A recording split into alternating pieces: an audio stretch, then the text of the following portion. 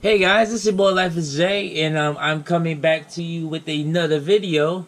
This right here would be a prob. I'm probably gonna start a series with this because we play every week.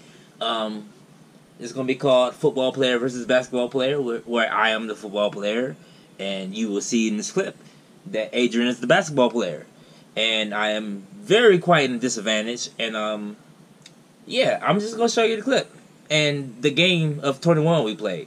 Here you go.